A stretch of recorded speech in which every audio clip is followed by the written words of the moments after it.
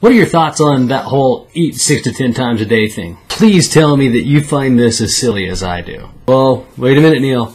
You're capping on one of the foundational principles of proper nutrition. Go there. Yeah, I'm going there, but let's talk about the premise first. So the premise here is, instead of eating our normal three times a day, like most of us were brought up to do and failed miserably at, instead we should eat six to eight to ten to maybe even more times than that every single day and give ourselves even more opportunities to make really poor decisions. That premise seems to have a few holes in it. So why are they telling us to do this? Well, as near as I can figure, there are about three major reasons. The first reason has to do with they don't know any better. Listen, this advice is part of the establishment in the nutrition community. It is just vetted, right? It's got tenure. Number two, about 20 years ago, most people were really concerned about muscle wasting. We used to say, don't do your cardio on the same days that you lift weights because you're going to just burn all your muscle away, right?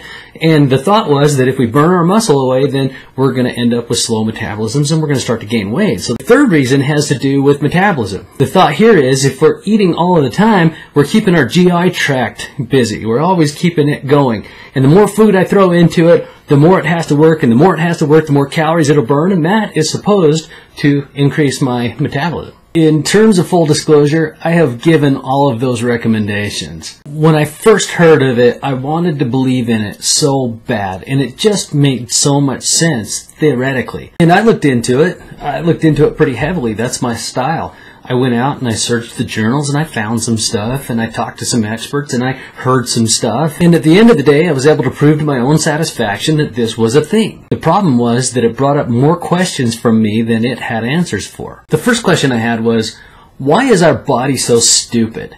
Like, why is it that if I really need it and I need it to be active and I need all my muscle and I need all my strength and I need all my energy, why would it then, if I skipped a meal, go in and take away from the very muscles that would keep it alive? Doesn't that seem counterproductive? It turns out that according to all the scientific literature, especially the recent scientific literature, this effect of muscle wasting has been way overstated. Way overstated. The fact is that the human body has even more incredible mechanisms in place that their primary job is to keep musculature, to keep strength, to keep energy, and therefore preserve our lives and our livelihoods. This brings me to another question having to do with this metabolism thing. Remember, it's supposed to raise our metabolism. To what end? Like, where does that quit? Does it quit? Ever? Think about it. So, if I eat 10 meals a day, and that's supposed to speed up my metabolism. What happens if I eat 20? Will it increase my metabolism even that much more? What if I never ever stop eating? Would that finally turn into this thing where I starve myself to death by eating too much? Oh, Neil, now you're just being ridiculous. Am I? You're the one that told me this thing speeds up my metabolism. Is there an endpoint? Ever? Okay, so this brings me to my last question. If this one's the most confusing. So if eating more times per day increases my metabolism, then obviously eating fewer times a day decreases your metabolism. That's just the logic, and that's what I've been told, right? This is where the logic goes awry for me. Because by this way of thinking, by their own way of thinking, it should be impossible for people who eat fewer times per day, once or twice a day, to lose weight. Yet, at the risk of sounding insensitive here, third world countries where people only eat once or twice a day are full of fat free humans.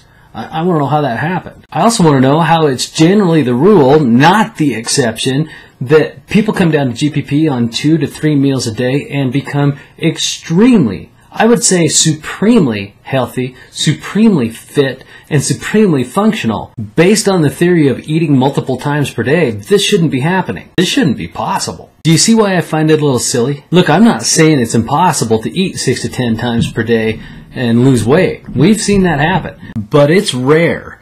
And the only people that seem to be able to make that work for them are the people who have immense self-discipline. And so what? The rest of us are just lazy? Undisciplined? We don't want it bad enough? Nah.